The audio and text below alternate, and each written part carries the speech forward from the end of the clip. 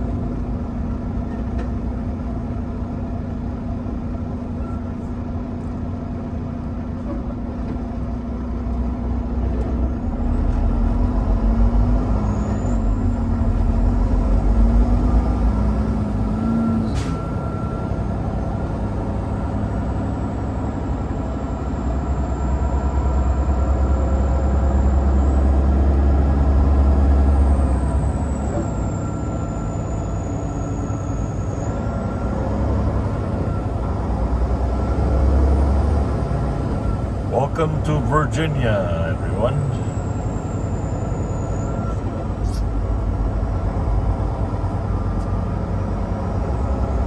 Once again, recording at 4K, 60 frames per second on my iPhone.